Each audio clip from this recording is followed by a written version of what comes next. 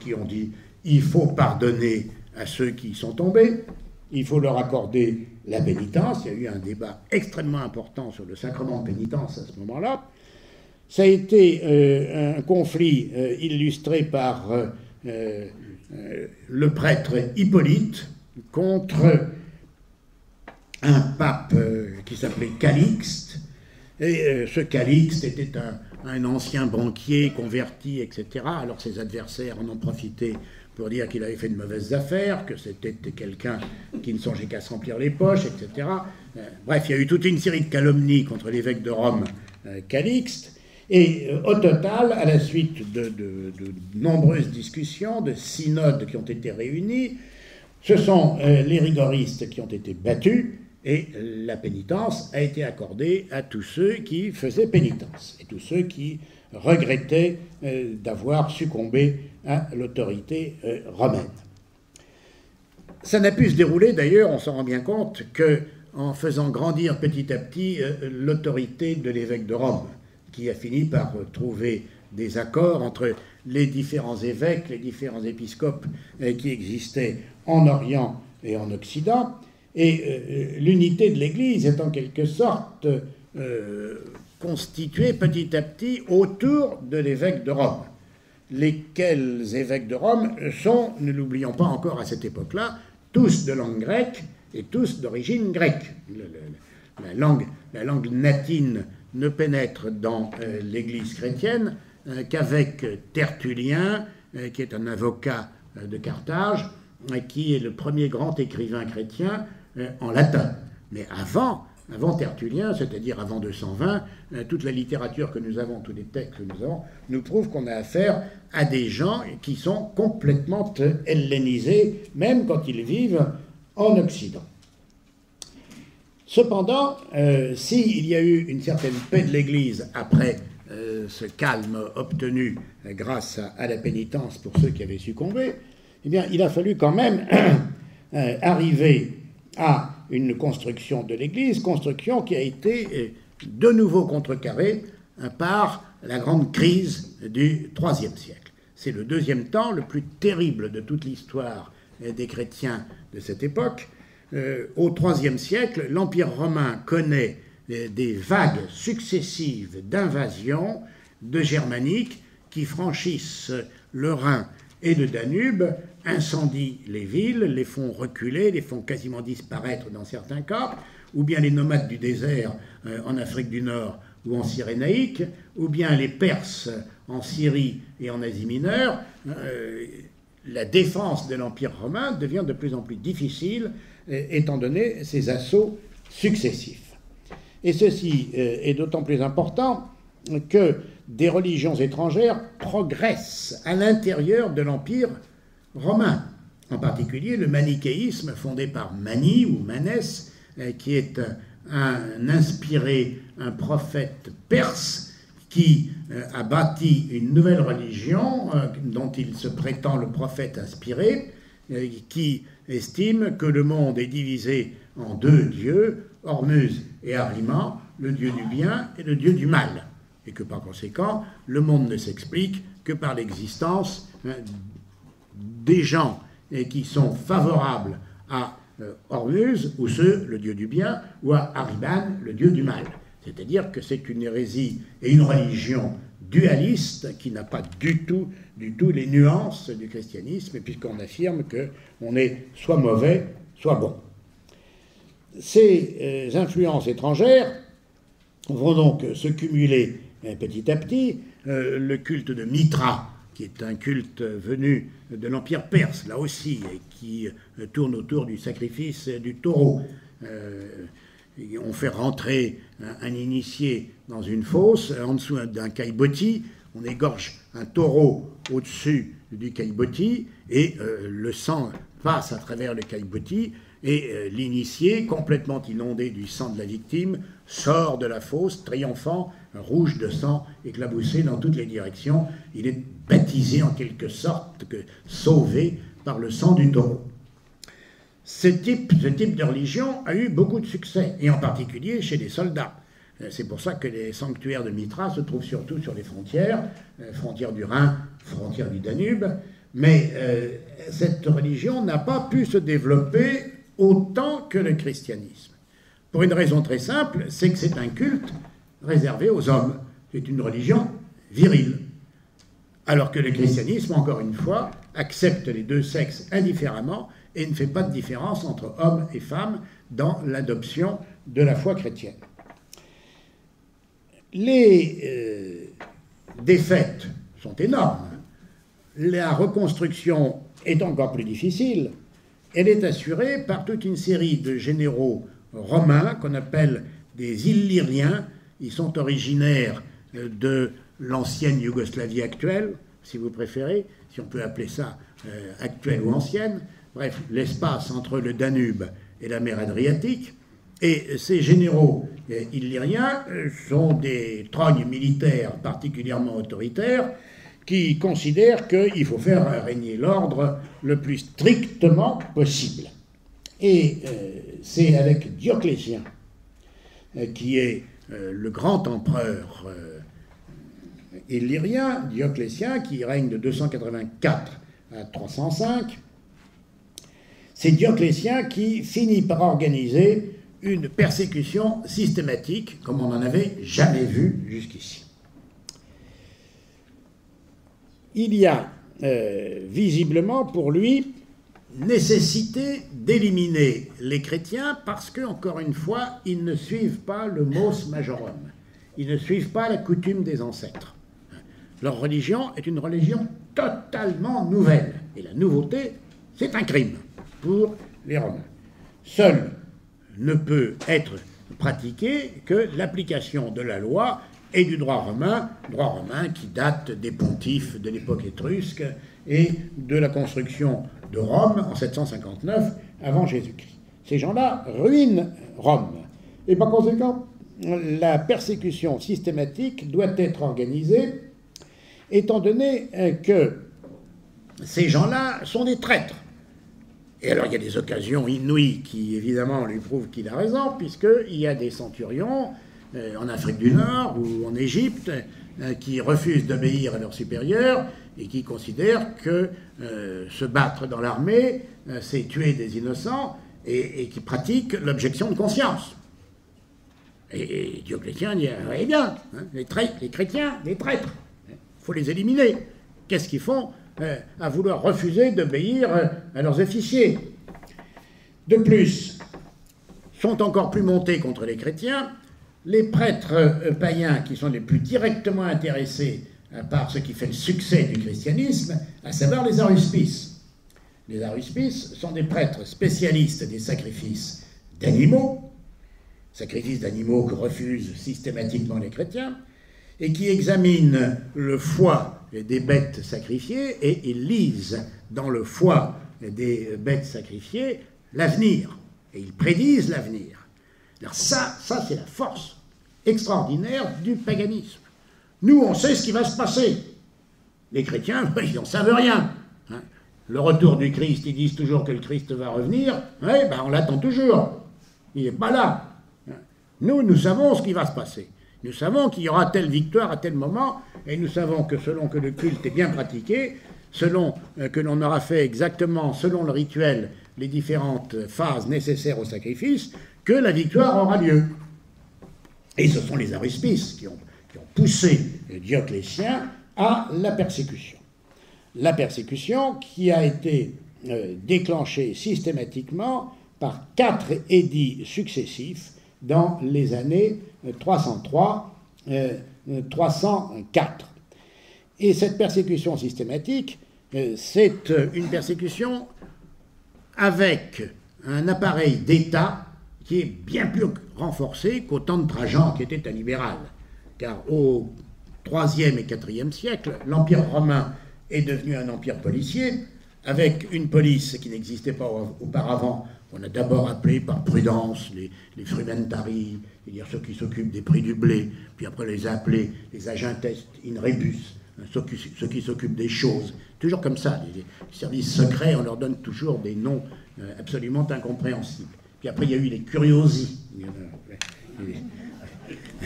Alors, grâce à ce système policier, on a pu, on a pu arrêter les chrétiens qui étaient parfaitement visibles, et cette série de dénonciations a permis d'organiser systématiquement la persécution.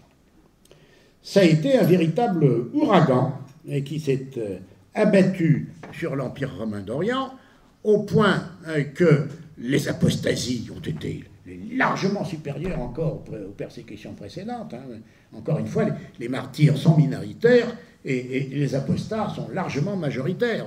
On a vu, on a vu des évêques hein, hein, avec euh, tout, tout, leur peuple chrétien derrière eux, faisant la queue auprès des magistrats pour signer leur abjuration.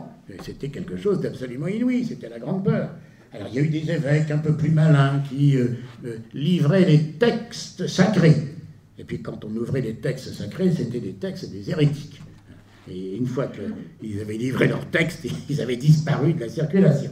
Alors il y avait des petits malins hein, qui arrivaient à s'en sortir.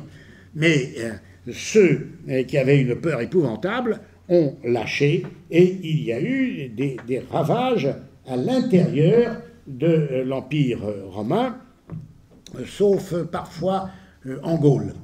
En Gaule, parce que la Gaule était dirigée par Constance Chlore, Constance Chlore qui est le père du futur Constantin, et Constance Chlore disait de, le, vieux là-bas, il, est complètement dingue, ça va pas, c'est pas applicable son truc, on, va à la catastrophe. Et donc il n'y a pas eu de persécution en 303-304 en Gaule. Mais en Espagne, en Afrique du Nord, en Égypte, euh, en Italie, euh, en Asie mineure, ça a été épouvantable. Et les, martyrs ont été extrêmement nombreux. La hiérarchie euh, de l'Église a été complètement décapitée. Il n'y a pas eu d'évêque de Rome, il n'y a pas eu de pape pendant trois ans. Qui dirige l'Église? Que faire à ce moment-là? C'était l'échec le plus complet pour cette Église. En réalité, en réalité, ce qui se passait, c'est que au bout d'un certain temps, on s'est aperçu que euh, la persécution avait beau se déchaîner, il y avait toujours des chrétiens. Et de plus, qu'ils étaient de plus en plus nombreux et qu'ils devenaient quasiment majoritaires par rapport aux païens. Donc, euh, lorsque euh, un des co-empereurs de Dioclétien, Galère, s'est aperçu de la chose, il a émis un édit en 311, et euh, l'édit de Galère de 311 a rétabli la liberté de culte, euh, étant donné euh, qu'il devenait impossible d'appliquer la législation, ça ne servait à rien, il y avait toujours des chrétiens qu'il fallait arrêter.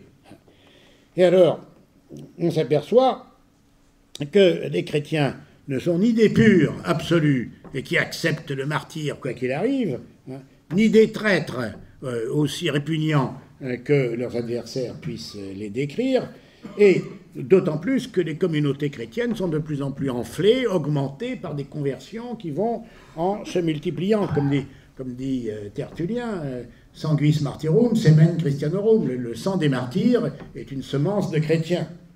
Surtout, on s'aperçoit que l'appareil d'État, pourtant extrêmement efficace, l'appareil d'État ne, parvient pas à prendre euh,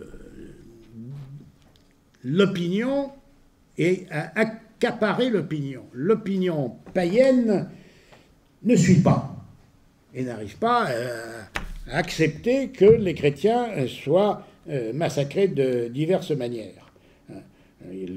certes, le, salut de l'État, l'empereur est sans arrêt en train d'en parler, la Respublica est en, danger, l'État est en danger. Ben non, euh, l'opinion ne suit pas, et petit à petit, euh, euh, l'appareil d'État finit, par échouer, si bien que, après cet échec de la persécution de Dioclétien, le fils de Constance Chlore, Constantin, qui devient empereur après avoir écrasé ses adversaires les uns après les autres, Constantin euh, vainqueur au pont Milvius le 28 octobre 312, euh, déclare que euh, le salut de l'Empire va être assuré par la tolérance, par la liberté de culte pour tout le monde. Les chrétiens sont alors euh, acceptés en tant que communauté avec euh, une capacité juridique, ce qu'ils n'avaient pas jusqu'alors. L'Église reçoit la capacité juridique, donc la possibilité d'hériter ou de recevoir des dons matériels. Elle reçoit la possibilité de s'implanter, d'avoir des biens fonciers, des biens immobiliers, etc. etc. Donc c'est euh, avec Constantin l'acceptation de la liberté de culte pour le christianisme. Mais j'insiste bien, c'est uniquement la liberté. Constantin est-il converti? Des historiens se posent sérieusement la question.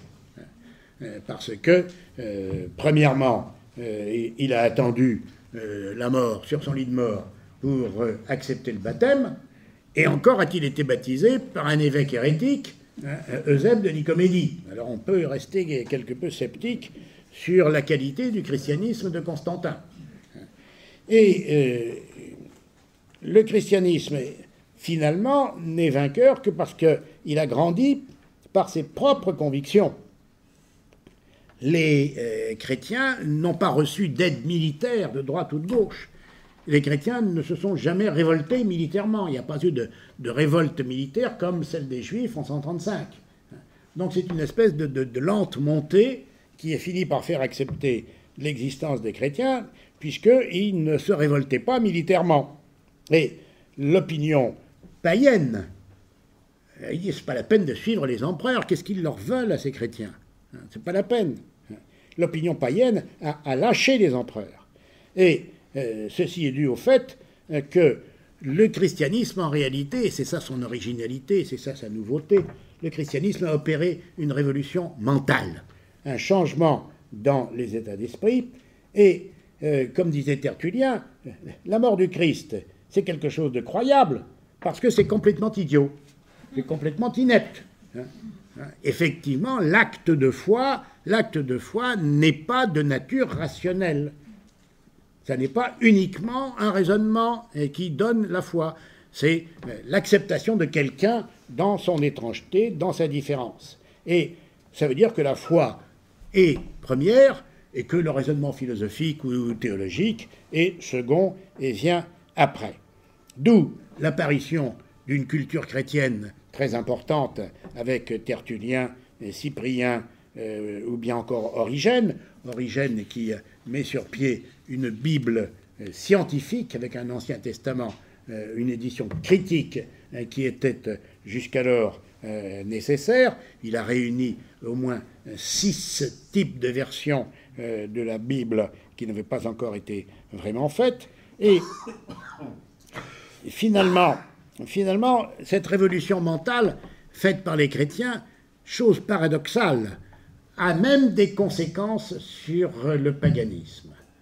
Ce sont, euh, euh, avec les philosophes néoplatoniciens, l'idée euh, d'un néopaganisme, d'une nouvelle croyance païenne, même les païens se mettent à ce moment-là, à partir de la fin du IIIe siècle et de l'échec des persécutions, même les païens se mettent à croire en l'existence d'un Dieu unique. D'ailleurs, c'est ce que dit euh, Constantin. Constantin, il ne se mouille pas, il dit la divinité. Mais jamais, euh, sous sa plume, on trouve euh, Jésus-Christ, fils de Dieu, vrai Dieu et vrai homme. Ça, non, pas question. La divinité, c'est tout. Il ne se mouille pas. Comme ça, il espère que tout le monde est d'accord. Et effectivement, les écrivains païens, avec par exemple, Philostrate qui écrit la vie d'Apollonius de Thiane euh, déclare que, effectivement, c'est par le mécanisme victimaire euh, que l'on peut construire une église, c'est-à-dire que la violence, pour les néo-païens, la violence, elle, permet de réunir tout le monde. Il suffit de trouver un bouc émissaire, une fois qu'on a trouvé le bouc émissaire, toute l'unité se refait autour du bouc émissaire. Ça, c'est la nouvelle pensée païenne qui se crée. Alors ceci vous explique qu'on peut aboutir, à partir du IVe siècle, à la construction d'un empire chrétien. C'est le troisième et dernier stade de euh, l'évolution euh, des premiers chrétiens. Il y a construction d'un empire chrétien avec des lois qui sont euh, créées par Constantin et par ses successeurs, des lois lorsqu'on les examine dans le détail, hein, sont quand même peu influencés par le christianisme. Il faut attendre 600 ou 700 pour que le christianisme influence ces lois. Hein, l'atmosphère païenne est encore très forte dans, ce droit romain. Une chose est sûre, c'est que Constantin euh, sauve l'Empire en euh, créant Constantinople en 330 et en euh, créant une capitale qui va être encore plus dynamique que Rome à Constantinople, et il redresse l'Empire, ce qui fait qu'on a un nouvel âge d'or de l'Empire romain, Rome étant beaucoup moins importante, Constantinople étant la tête impériale la plus importante. Et euh, Constantin, devenu maître, va se heurter tout de suite à des hérésies qui apparaissent inéluctablement chez les chrétiens. Maintenant que le christianisme est majoritaire, les divisions éclatent inéluctablement. En particulier avec un prêtre égyptien qui s'appelle Arius, qui euh, trouve normal dans ses prédications de déclarer que le Christ n'est qu'une créature et que ce n'est pas un fils de Dieu. Et nous arrivons ici devant les grandes querelles qui ont continué et qui continuent avec l'islam, puisque vous savez que la divinité euh, du Christ n'est pas reconnue par l'islam, non plus que par les juifs. Donc euh, l'arianisme se développe à travers l'Empire romain d'Orient, crée des troubles politiques, et Constantin dit ça suffit. Comme c'est un militaire à poigne, il réunit un grand concile à Nicée, c'est le premier concile de Nicée, et ce concile de Nicée euh, termine officiellement la crise arienne en décrétant que le Christ est homoousios, c'est-à-dire qu'il est de nature semblable à celle du Père. Et euh, l'on entre dans les arcanes de la théologie trinitaire, à savoir que le Christ est vraiment fils de Dieu et que euh, l'Esprit Saint, mais ça c'est les autres conciles qui le disent ensuite, est un, mode de relation entre le Père et le Fils. Si Dieu est amour, Dieu ne peut être que relation d'amour entre le Père et le Fils. Cette euh, affirmation théologique a mis le feu aux poudres. Pour beaucoup d'anciens païens, cette histoire d'un Dieu un en trois personnes, ça ne tient pas debout. Une fois de plus, on retrouve le même problème. Et euh, les successeurs de Constantin, on en par-dessus la tête de ces querelles euh, entre pro-ariens et anti-ariens, et l'un des fils de Constantin, Constance II, après la mort de Constantin, n'hésite pas à, arrêter de nuit, il n'est pas fou, hein, il n'a pas envie de provoquer des émeutes, de nuit, il arrête le pape Libère, et, euh, qui s'appelle L-I-B-E-R-E, e, hein, qui a le nom de Libère. Et il l'envoie en, exil au fin fond de la Bulgarie. Et là, il oblige le pape à signer un texte qui est un texte ni plus ni moins favorable à l'arianisme. Au fond, qu'est-ce que c'est que le Christ? Ben, C'est une créature euh, douée euh, de pouvoir surnaturel, hein, mais c'est pas le Fils de Dieu. C'est l'équivalent de, euh, de, Tarzan euh, ou de, euh, de, créatures extraordinaires du type de Zorro ou autre, mais il n'est pas fils de Dieu. Ça rentre beaucoup mieux dans la mentalité encore païenne. Et les textes pondus par l'empereur et arrachés au pape devraient normalement faire la paix. Malheureusement, pour Constance, il y a eu un archevêque d'Alexandrie, Saint Athanase, qui a été têtu comme une bourrique, qui a été exilé cinq fois de suite, et qui à chaque fois a provoqué des émeutes dans Alexandrie, dans les villes d'Orient, etc., etc. Et au bout d'un certain temps, il a fallu, par le concile de Constantinople de 381, revenir à Homoousios et accepter euh, qu'il y ait un seul Dieu en trois personnes. Et euh, ceci explique que le christianisme se construisant petit à petit, il y a eu un, dernier assaut, un contre le christianisme, c'est celui de l'empereur Julien, l'empereur Julien qui euh, euh, avait été élevé dans le christianisme et qui s'est converti au néopaganisme dont je vous ai parlé tout à l'heure, et qui estime qu'il faut considérer les disciples du Christ comme étant des minus abins, des pauvres gens incultes, qui ne connaissent rien à rien, hein, et, qui ne connaissent pas la culture gréco-romaine. Il faut à tout prix les ramener à des idées un peu plus claires et un peu plus littéraires et un peu plus esthétiques euh, que euh, cet évangile stupide euh, et ces décisions complètement abracadabrantes. Heureusement pour les chrétiens, Julien, surnommé l'apostat, Julien l'apostat, ne règne que 18 mois, mais il prend des mesures qui sont des mesures tout à fait curieuses, mais qui en annoncent d'autres. Le but de Julien l'Apostat, c'est d'arracher la culture aux chrétiens. Et il interdit à tous les professeurs chrétiens d'enseigner et les expulse de l'enseignement. Ceci veut dire que le christianisme ne progresse que dans la mesure où il s'est en quelque sorte infiltré à l'intérieur des cultures ambiantes. Le christianisme a non seulement hellénisé l'héritage grec et romanisé l'héritage romain, mais déjà il commence à transformer le monde perse et même le monde germanique, puisqu'il y a des tribus germaniques qui commencent à se convertir au christianisme à ce moment-là. On dit l'expansion chrétienne continue. Donc euh, Julien se dit il n'y a qu'une seule, une seule solution, il faut les empêcher d'aller à l'école. Donc de cette manière-là, euh, j'aurai enfin la paix. Euh, heureusement pour les chrétiens, Julien est mort très rapidement, et il y a eu un concile en 381 qui a définitivement terminé euh, toutes ces querelles euh, trinitaires.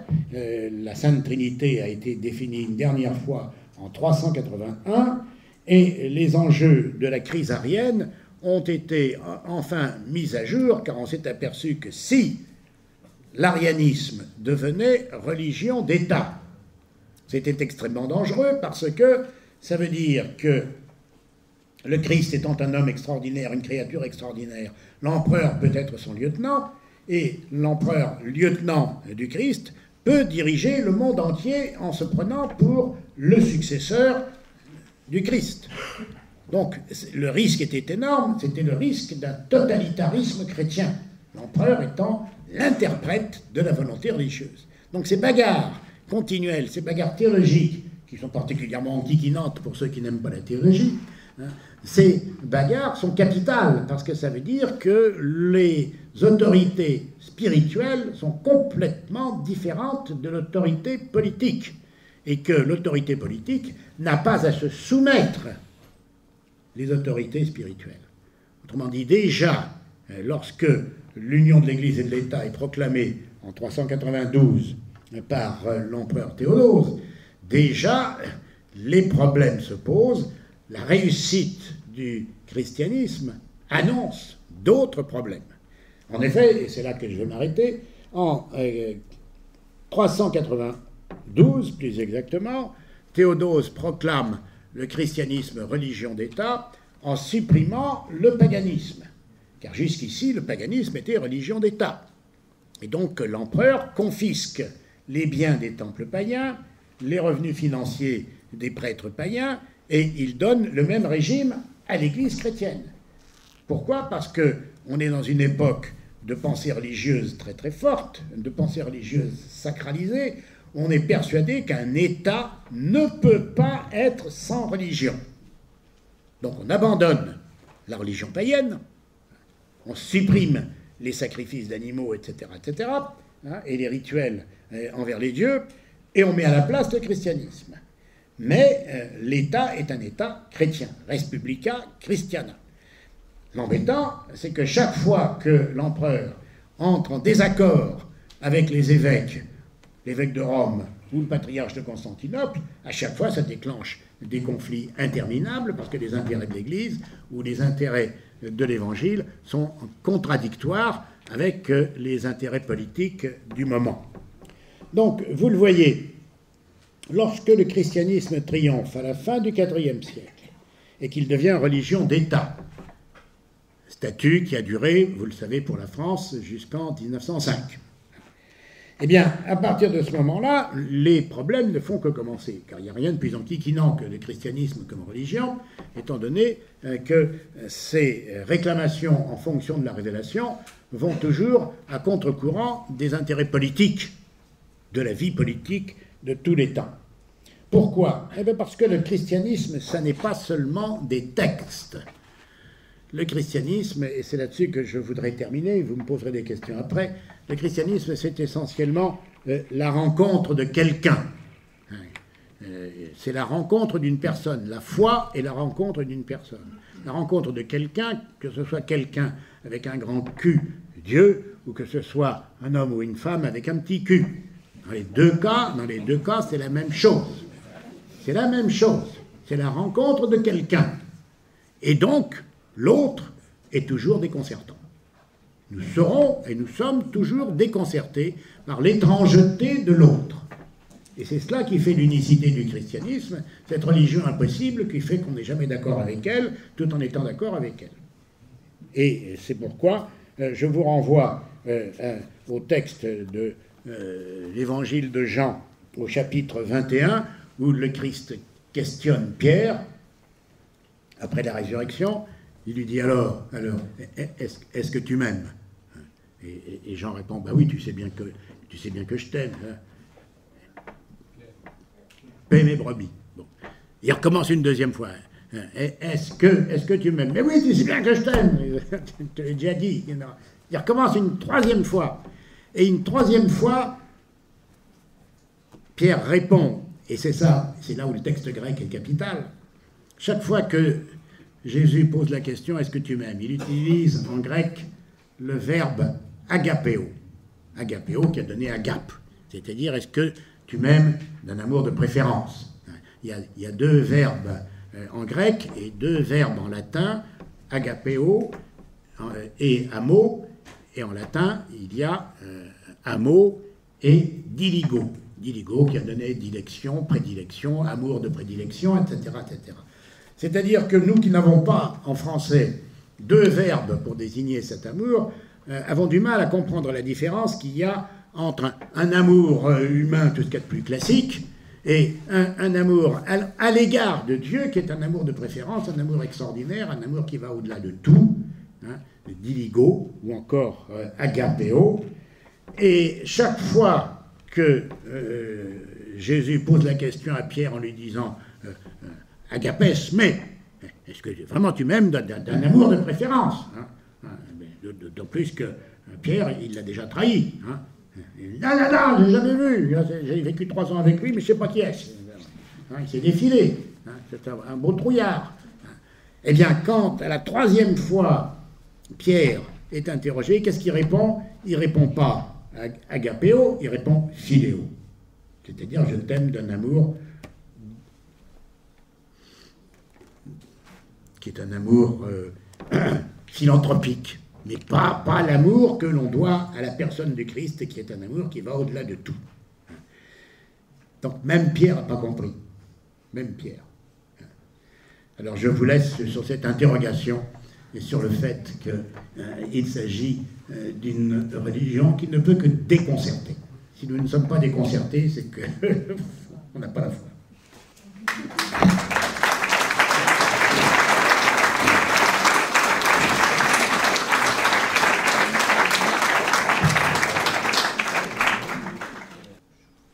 Ben, le, regard des historiens est très, très, simple. Les historiens constatent que chaque fois que les euh, chrétiens disent c'est le Messie, il est ressuscité, à chaque fois il y a un refus absolu et des juifs et des musulmans.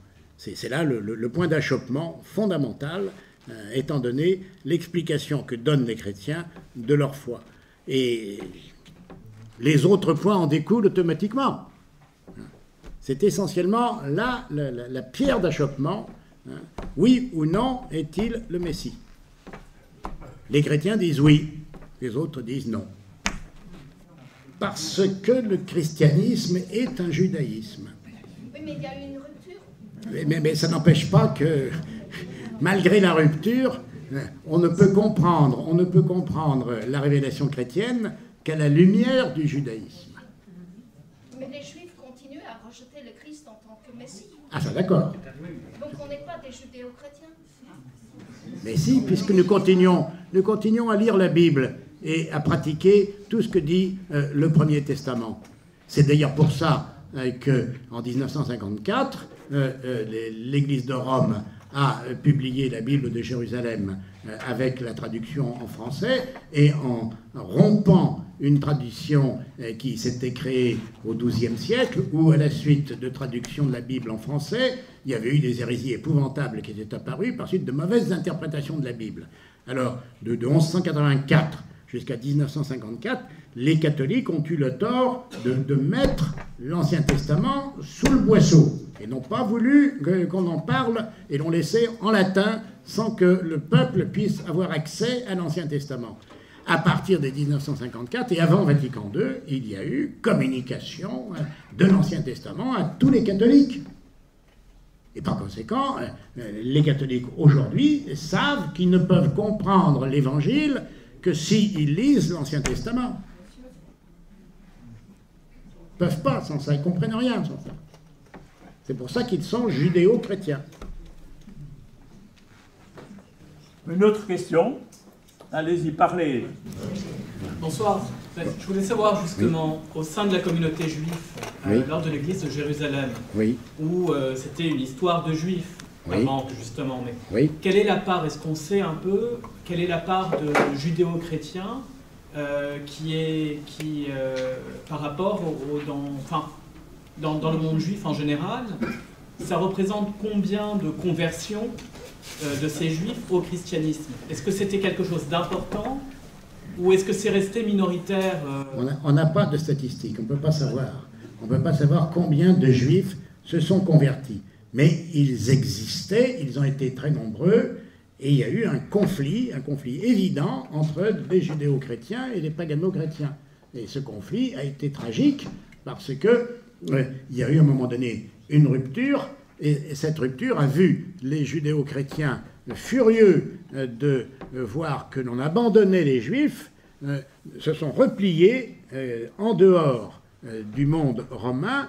En Arabie du Nord, ça a été pour eux le refuge et le maintien de leurs coutumes juives et chrétiennes. C'est-à-dire qu'ils ont continué à pratiquer la circoncision, le baptême, etc., etc. Ils ont voulu le mélange complet et total des deux religions. Mais vous dire leur nombre, nous en sommes incapables. Et que sont-ils devenus ensuite? Qu'on, Comment on a, gardé quelles traces de, ah ben, Il y a des traces archéologiques euh, en, Arabie, dans le nord de l'Arabie. Il faudrait arriver à, publier toutes les inscriptions euh, en syriaque ou euh, en grec qui sont dans ces territoires, mais il n'y a pas moyen d'avoir accès à, des chantiers de fouilles archéologiques dans le nord de l'Arabie saoudite. C'est ça, qui est, ça qui est terrible. Dernière question. J'ai lu euh, que euh, le Christ aurait euh, appartenu peut-être à la tribu, enfin à, la secte des Esséniens. non, c'est plutôt, c'est plutôt Jean le Baptiste. Ce serait plutôt Jean le Baptiste dont, dont on pose la question a-t-il vraiment connu la communauté des Esséniens? Quand donc après le sabbat a-t-il été remplacé par le repos et le culte du dimanche? Il n'a pas été, il pas été remplacé. On a posé le dimanche à côté, à côté du sabbat. Du Shabbat. Et quand est-ce que le, pendant combien de temps ça a duré? Ah ben, le, le, dimanche a été, euh, je crois que c'est Constantin qui a proclamé euh, le dimanche jour de repos. Oui. Si on le sait, euh, qu'est-ce qui motivait les. Vous avez parlé des pagano-chrétiens. Oui. Qu'est-ce qui les motivait à entrer dans le christianisme alors qu'ils étaient issus du, monde païen? Parce que, parce que le christianisme leur offrait euh, une promesse de salut hein, euh, et, une relation de, de personne à personne. Alors que le culte païen est un culte absolument impersonnel où il suffit d'accomplir les rites pour être en paix avec les dieux les, païens étaient insatisfaits.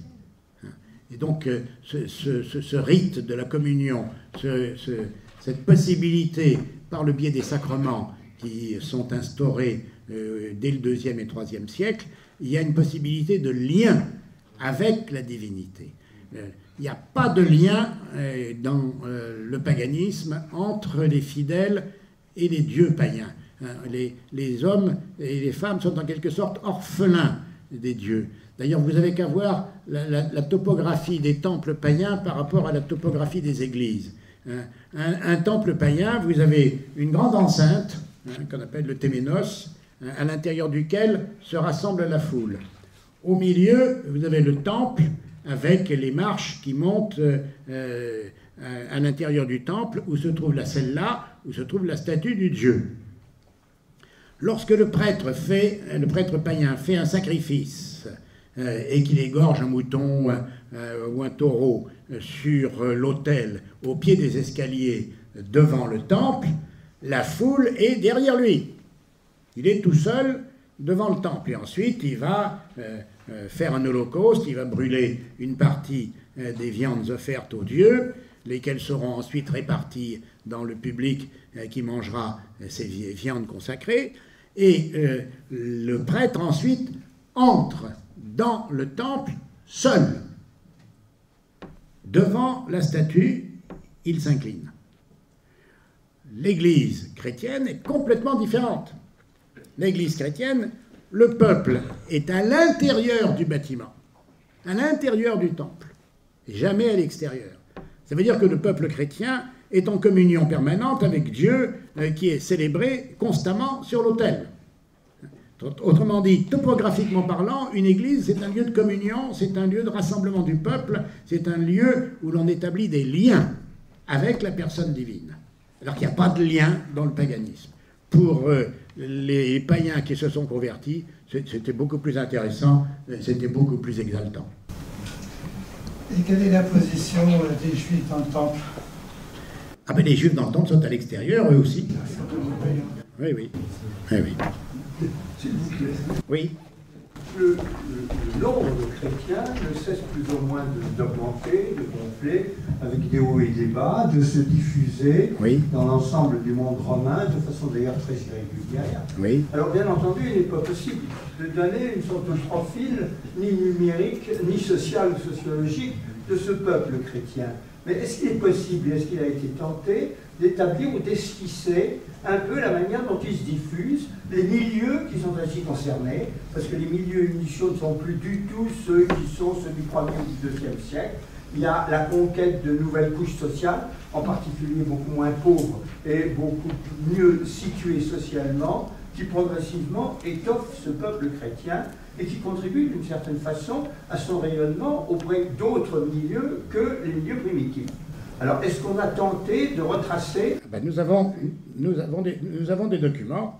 Nous avons le Contre Cels, euh, qui a été écrit euh, au IIIe siècle euh, par un, un, auteur chrétien qui cite un auteur païen et un auteur païen qui déteste les chrétiens et qui dit qu'est-ce que c'est que cette euh, série d'histoires de bonnes femmes euh, que au fond des boutiques les cordonniers, les teinturiers, les gens les plus vils de toutes les catégories sociales qui rassemblent les enfants autour d'eux pour leur raconter des histoires de bonnes femmes et qui se taisent dès que le maître arrive et met les pieds dans la maison, etc. Il y a une description fabuleuse sur le fait que le christianisme se répand d'abord chez les analphabètes, chez les gens du peuple, euh, par toute une série de, discours transmis de bouche à oreille.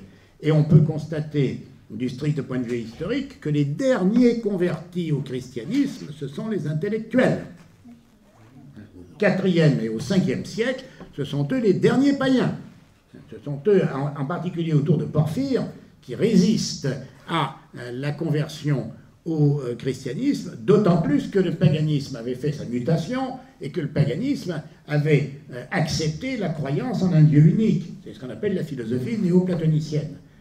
Donc, euh, les différentes couches sociales ont toutes été atteintes petit à petit, d'abord, d'abord par les femmes, puis par les gens des boutiques, puis par les soldats, puis par les fonctionnaires, et enfin les intellectuels, mais qui ont été les derniers à résister. Et la diffusion géographique Alors la diffusion géographique, elle commence à partir de la Palestine et de la Syrie, puis euh, à travers euh, l'Asie mineure, euh, la région de Salonique, puis Athènes, où Paul connaît un échec absolument retentissant, parce que là, il se heurte aux intellectuels, hein, et que les membres de l'aréopage lui disent Tu nous racontes des blagues, on t'écoutera une autre fois, etc. etc. C'est l'échec complet. Hein. Même chose à Rome, où la foule du monde des esclaves accepte le christianisme très vite, mais le monde des intellectuels l'accepte de moins en moins. En revanche, Constantinople a été très chrétienne, Ravenne a été très chrétienne, et euh, même chose pour euh, l'Afrique, avec une coloration de, fanatisme euh, tout à fait curieuse, peut-être Esther Tulien qui a donné cette connotation d'exaltation du christianisme africain, et qui fait que Saint Augustin a eu un mal énorme à convertir les païens euh, de son diocèse et à convertir les chrétiens eux-mêmes euh, qui euh, étaient extrêmement rigoristes. Le, problème du rigorisme s'est beaucoup posé en Afrique du Nord. Bonsoir. Oui. Moi, je voulais savoir, est-ce qu'il y a des pays qui ont pris, adopté le christianisme en tant que religion d'État? Ah. ah ben oui, l'Arménie. Tout de suite. Tout de suite, l'Arménie, elle, a immédiatement, c'est le premier pays chrétien après l'Empire romain. Dès, 300 et quelques, il y a eu l'Arménie. Ensuite, vous avez deux, euh, deux, individus qui ont fait naufrage sur les côtes de la mer Rouge et qui ont débarqué en Éthiopie et qui ont converti l'Éthiopie au christianisme où il y a eu religion d'État en, euh, en Éthiopie. Et puis ensuite, il y a eu des tentatives euh, dans l'Empire perse ça n'a pas marché. Ah ben, l'Empire perse, il y a vraiment eu un échec, un échec complet. Bonsoir. Euh, oui. C'est ici. Ah. Allez-y. Euh, d'abord, merci pour cet exposé euh, richissime. Et c'est un peu des buts de Cordoba, c'est de connaître un peu les autres religions. Pour ma part, c'est le cas de, de, connaître la religion chrétienne. Et j'ai deux, deux, remarques. Donc, quand vous avez fait tout votre exposé, j'avais l'impression d'entendre un peu ce qu'a vécu euh, le judaïsme au, au, cours des siècles, tous ces pogroms, tous ces assassinats, tout ce qui s'est pu se passer dans ces 300 ou 400 ans. Alors ma première question, c'est comment, est-ce que dans cette période, les chrétiens ont une attitude, ou les néo-chrétiens ou judéo-chrétiens, ont une attitude contre les juifs qui s'est retournée contre eux? Et deuxièmement, dans la mesure où, tel que vous l'avez en tant qu'historien, ils étaient issus euh, d'une famille juive, enfin une famille au sens large, euh, comment est-ce que comment est-ce qu'on peut aujourd'hui, à travers ce que vous dites, expliquer, si tant qu'il y a une explication, et certains pourraient rebondir, il n'y a aucune explication antisémitisme aujourd'hui, mais est-ce que ça contribuerait, comment est-ce que ce que vous apportez comme élément d'information apporterait quelque chose à, ce qu'on pourrait dire, oui, voilà pourquoi il y a de l'antisémitisme, ça, ça paraît complètement aberrant. Alors, pour, euh, pour répondre. général, d'accord, mais. Pour répondre à votre question, l'historien distingue formellement euh, l'antijudaïsme de l'antisémitisme. l'antisémitisme, l'antisémitisme est, une, est une invention du XVIIIe siècle. Non, mais l'antijudaïsme qui a existé. Euh, avant, il y a un antijudaïsme, et cet antijudaïsme, il apparaît au moment où se construit le christianisme religion d'État. À partir de ce moment-là seulement, on voit euh, des euh, tentatives de destruction de synagogues par des chrétiens. Avant, il n'y en a pas. Des tentatives de destruction de synagogues parallèles sans doute aux tentatives de destruction des temples païens pour les remplacer par des églises. Ah non, parce que les tentations, les destructions de temples païens ont été ordonnées par l'État. C'est complètement différent. Étant donné que le paganisme n'est plus religion d'État, il faut détruire toutes, euh, toutes les manifestations du paganisme. La, destruction des temples païens ou, euh, des, 380-392, euh, la destruction des temples païens est légale. En revanche, à la cause du rescrit de César, le judaïsme est juridiquement religio licita. C'est-à-dire que lorsque le christianisme est proclamé religion d'État, en même temps, le judaïsme est reconnu comme la seule religion autorisée, religio licita. Et donc on n'a pas le droit, on n'a pas le droit de toucher aux synagogues et aux temples. et, aux, édifices juifs, ce qui n'empêche pas des excités et des imbéciles de s'attaquer à certaines synagogues. Mais juridiquement, du point de vue du pouvoir politique, l'union de l'Église et de l'État est obligatoirement une protection du judaïsme qui est la seule religion autorisée. C'est la seule religion autorisée. Pourquoi? Parce que c'est la religion dans laquelle est né le Christ. Donc on ne va pas persécuter la religion du Christ. Vous voyez la logique. Hein? Mais ça n'empêche pas qu'il y ait des imbéciles partout. Pourquoi y a-t-il eu alors? Qu'est-ce qui a déclenché à ce moment-là qu'il y ait des, destructions de synagogues? C'est toujours le fameux réflexe euh, une seule fois, euh, une seule politique. Ce qui est idiot. Hein. Les, gens ont dit, il y a, maintenant il y a une seule foi, donc on doit faire une seule politique. Ben non. C'était très déstabilisant d'affirmer que le judaïsme était la religion licita, était la religion permise, la religion autorisée. C'était César qui l'avait dit. Hein. Quand même, on ne va pas renverser, on va pas renverser la décision de Jules César. C'est un phénomène euh, classique, si vous voulez, c'est la tentation totalitaire. La tentation totalitaire, c'est euh, une seule politique, une seule religion, et foutez-nous la paix. Ah ben, il a été, il a été capital. Il a été absolument capital. Après, après les bagarres, euh, non, il y avait tout, était, tout était enseigné par, par oral. Et donc les textes évangéliques, lorsqu'ils ont été mis par écrit au cours du deuxième siècle, le, canon des Écritures est fixé dès 120-160, surtout après la grande querelle euh, autour de Martien, euh, l'hérétique Marcion ayant décrété qu'il y avait des textes inutiles dans le Nouveau Testament, que les épîtres de Saint Paul, euh, il y en avait trop, il fallait en supprimer, que tel ou tel évangile était inutile, etc., etc. Il y a donc eu une grande bataille à l'intérieur de l'Église, et on a fini par décider que le canon comporterait les, trois synoptiques, les actes des apôtres, les, épîtres, etc. etc. C'est-à-dire que le canon des Écritures est fixé au cours du deuxième siècle. Et donc, à ce moment-là, l'influence est encore, encore plus grande. Oui, oui, oui. Oui, oui, l'Ancien Testament faisait partie de l'enseignement primitif.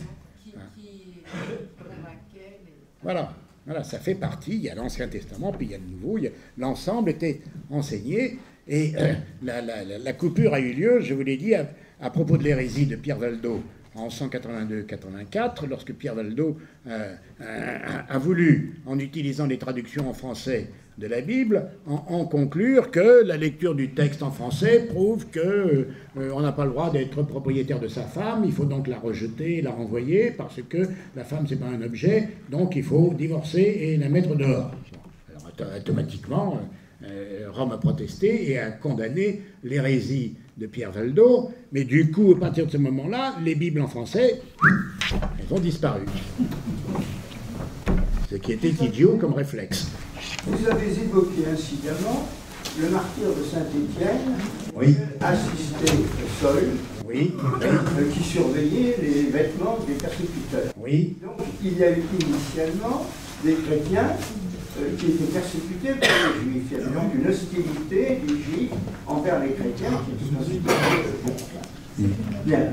Alors, quand peut-on dire que cette persécution des chrétiens par les juifs a cessé? Et comment s'est-elle développée ou comment a-t-elle régressé pendant les premiers, les premières, le premier siècle ou le deuxième siècle oh, C'est surtout, surtout à la fin du premier siècle que ça s'arrête. Hein.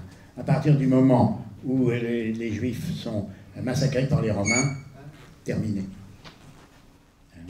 L'échec des révoltes de, de 73 à Massagda et de 135 a complètement euh, renversé l'attitude des Juifs à ce moment-là. Ils avaient beaucoup trop à s'occuper de leur propre salut euh, que de s'occuper des chrétiens. Je savoir pourquoi, oui. Pourquoi Néron et Dioclétien ont été aussi barbares et sauvages vis-à-vis des chrétiens. Ça, ça paraît impensable alors que Ponce Pilate, Jésus, les Romains, repose la calmie. Là, ça paraît. C'est tout. c'est la logique, c'est la logique de l'État romain. L'État romain est soutenu et voulu par les dieux. Les dieux ont voulu le bonheur de l'humanité dans les territoires romains. Il y a des gens qui arrivent et qui annoncent des faits et des choses qui n'ont jamais existé à leurs yeux et qui sont surtout nouvelles. J'insiste sur la notion de nouveauté. La nouveauté, c'est quelque chose d'impossible à comprendre euh, pour les Romains. Euh, on ne peut construire de bonheur qu'en répétant ce qui a déjà existé. Euh, même chose pour les cérémonies des sacrifices d'animaux. Il faut répéter la manière rituelle de sacrifier un bœuf ou une colombe pour être sûr que le, dieu apportera le bonheur qu'on lui a demandé. Donc il faut répéter, répéter, répéter, répéter. Il n'y a pas d'histoire dans, le système euh, romain. L'histoire n'existe pas. Alors que justement, pour le christianisme, et c'est là la grande nouveauté, il y a une histoire du salut. Le monde a été créé à une certaine date, ensuite euh, le euh, Christ est venu sur terre, et dans un troisième temps, il y aura la résurrection générale et le monde sera sauvé à ce moment-là. Et donc il y a une théologie de l'histoire avec des changements, avec des nouveautés continuelles. Donc le christianisme, c'est la religion de la nouveauté. Hein. Euh, l'avenir est inconnu et à chaque fois, il y aura des choses nouvelles qui apparaîtront. Et ça, c'est très déstabilisant. Pour des, pour des, civilisations à dominante rurale, hein, affirmer euh, que euh, l'histoire est une perpétuelle, un perpétuel recommencement, il y a une conception circulaire de l'histoire chez les Romains païens euh, qui est absolument indéracinable. Il y a d'abord l'âge de fer, puis ensuite il y a l'âge d'or, puis ensuite il y a la décrépitude, et c'est la décadence, et c'est le déclin, et on recommence, hein, et ainsi de suite. Il y a une conception circulaire de l'histoire, alors qu'avec le christianisme, on a affaire à une conception linéaire de l'histoire, avec un commencement, un milieu et une fin. Hein? Nous euh, sommes des personnes uniques qui avançons dans le chemin de l'histoire. Et nous aurons à, connaître des choses que nos prédécesseurs n'ont pas connues. Nous sommes donc condamnés à la nouveauté, à la perpétuelle adaptation et au perpétuel progrès de l'humanité dans sa domination du monde créé par Dieu, que Dieu a donné à transformer par les hommes. Ça, c'est incompréhensible. C'est incompréhensible. Oui. Et comment les Romains ont-ils accepté euh, la mentalité grecque? Mais c'est la même. Pourtant, les Grecs s'intéressaient à tout. Oui, mais c'est la même. Ils ont, ils ont, euh, leurs scientifiques sont persuadés que le monde est éternel. Que le monde soit créé et qu'ils connaissent un développement, c'est impensable. Tous les savants grecs considèrent que le, monde éternel, est éternel et ne bouge pas. Pourtant, les anciens romains ont eu du mal à accepter le monde grec. Oui. Oui, oui, oui, mais parce que, euh, euh, ils en étaient encore au stade d'une civilisation à dominante rurale et euh, la civilisation dans son aspect urbain tel qu'elle existait autour d'Athènes, de Thèbes et de bien d'autres villes grecques les a persuadés que petit à petit la pensée telle qu'elle avait été élaborée entre 450 et 400 avant Jésus-Christ à Athènes, cette pensée était humanisante. Il y a donc eu un humanisme gréco-romain euh, qui s'est développé, et comme le disait le, poète Horace, hein, Grecia capta ferum victorem sepit, la Grèce vaincue a fini par conquérir son féroce vainqueur. C'est pour ça qu'il faut parler d'un humanisme gréco-romain, euh, les Romains ayant accepté l'héritage grec. D'autant plus que les esclaves qu'ils avaient fait euh, lors des batailles contre les troupes grecques c'était très souvent des professeurs de philosophie. Donc il y a eu importation de, de, matière grise à l'intérieur de l'Empire romain. Oui. Comment était structurée l'Église des premiers chrétiens? Bon, c'était extrêmement simple. Hein. Il y avait d'abord les apôtres qui eux-mêmes imposaient les mains à des personnes qu'ils considéraient comme euh, dignes de compréhension de la révélation. Euh, on voit Paul, par exemple, ordonner euh, Tite évêque, hein, et les évêques sont appelés épiscopes, c'est-à-dire qu'ils surveillent en quelque sorte la communauté. Ils sont en, train de construire une communauté, et ça se multiplie par bourgeonnements successifs. Hein. et l'épiscopat est largement constitué au, IIe siècle, et, toutes les communautés ont, ont, un évêque à partir de 200-220. Et, d'ailleurs, les, autorités romaines s'en ont tout de suite aperçues, et, elles ont essayé, en cas de persécution, d'arrêter d'abord les évêques. Mais, l'évêque de Rome ne s'est pas imposé tout de suite? Non, il ne s'est pas imposé tout de suite. Non, non, non. On commence à parler de lui euh, à, partir d'Hippolyte, euh, à, propos du conflit entre le rigorisme et, le pardon euh, euh, à ceux qui avaient, succombé aux persécutions. Alors à ce moment-là, euh, il a fallu un interprète de la miséricorde. Et, l'évêque de Rome, comme interprète particulier de la miséricorde, a dit celui-là, il faut lui accorder le pardon pour telle, telle et telle circonstance, etc. Donc c'est la nécessité du pardon qui a petit à petit dégagé l'autorité de l'évêque de Rome.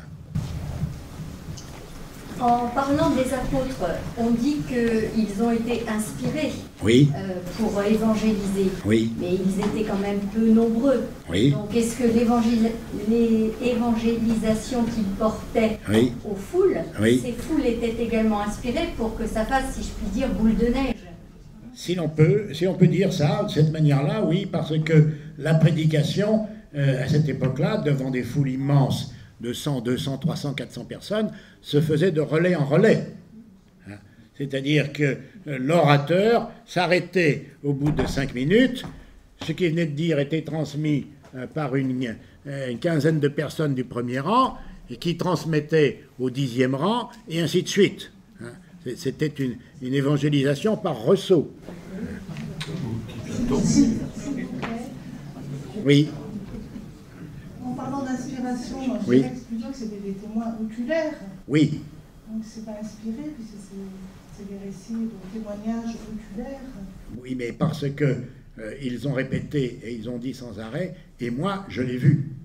Et moi je suis persuadé que c'était ça. Si vous voulez. Et finalement, la, la, force de la conviction a petit à petit remplacé le témoignage oculaire. Autrement dit, c'est la coïncidence. La coïncidence entre la parole et l'action qui a fait euh, l'évangélisation. Oui, sur la question des structures de l'Église, oui. il me semble, sauf erreur de ma part, que les premiers chrétiens officiaient dans les synagogues. Oui, oui, oui, oui, oui, oui, oui, oui, tout à fait. Tout à fait. Et après, ils ont été chassés des synagogues par les Juifs lors des révoltes. Les Juifs ont dit non, non, non, on n'est plus d'accord avec ce que, ce que vous prêchez. prêchez. Vous, vous dites que c'est dans l'Ancien Testament, d'accord, mais, mais, vous, en tirez des conclusions euh, avec lesquelles nous ne sommes plus d'accord. C'est là qu'a commencé le, euh, désaccord. Vous, dites que c'est le Fils de Dieu. Bah, qu'est-ce que vous en savez? C'est ça, qui ça qui a été terrible. Vous comprenez?